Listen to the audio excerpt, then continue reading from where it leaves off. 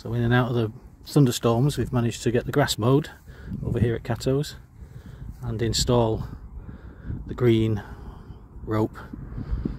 It's just to keep the people from wandering amongst the hives. It's not going to keep the bees out. Or keep them in for that matter. The bees are doing okay.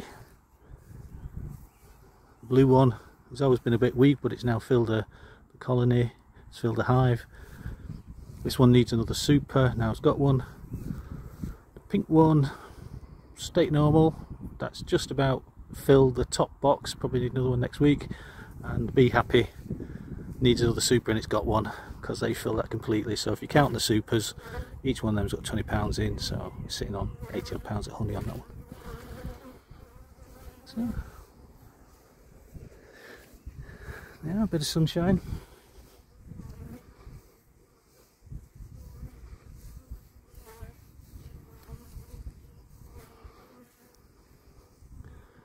And I think that looks quite nice.